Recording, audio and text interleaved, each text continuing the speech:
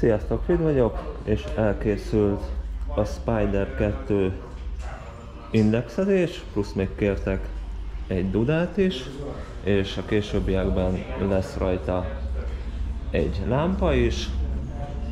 Ilyen index kapcsolót kapott, mert ez rendesen kattan és kesztyűben is érzed. Ugye duda, elég hangos,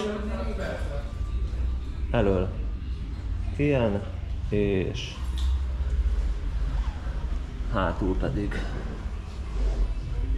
ilyen a gyári részvillogót használtuk fel. Ez a videó ennyi lett volna. Köszönöm, hogy megnéztétek. Itt voltam.